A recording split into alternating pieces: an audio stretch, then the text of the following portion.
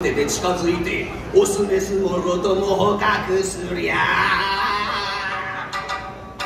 コンクリの壁に全力投球投げつけ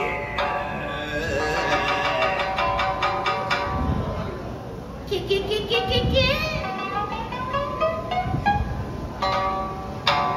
毎日殺生を続けてた。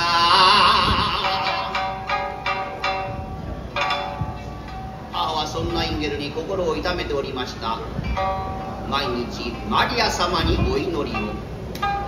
神様どうかインゲルをお許しください。あの子の父親はスウェーデン人。金髪色白青い目のそれは素敵な人でした。けれど日本に馴染めず妻子を捨てて一人でふるさとへ帰ってしまったの